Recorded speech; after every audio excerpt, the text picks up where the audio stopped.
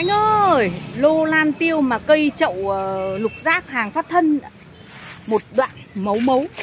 Và hai nữa là gốc to Gốc này hơn ngón chân cái của em. Uh, Tổng chiều cao của cây là 1, 2, 3, 4 Được hơn 80 phân.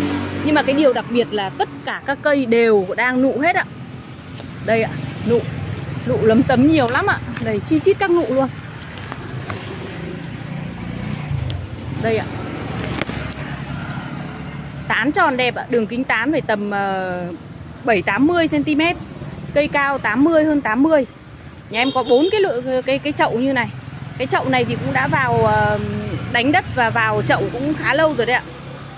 Các anh chị có nhu cầu mà muốn mua một trong các cái chậu uh, lan tiêu hàng đang nụ Cây nào cũng đang nụ hết ạ. Đây, nụ đây, nụ đây. Nụ đây, nụ đây, nụ nhiều lắm ạ. Đây này cái chỗ này chát nụ luôn ạ đây ạ, những cái này là nụ của nó ạ. Cây rất đẹp luôn. Đấy, bốn cây, hai cây trong này gốc, cây trong này gốc còn đẹp hơn nè. Thì vui lòng alo thật sớm ạ. Số điện thoại là 097 797 3535 ạ. Cảm ơn các anh chị ạ.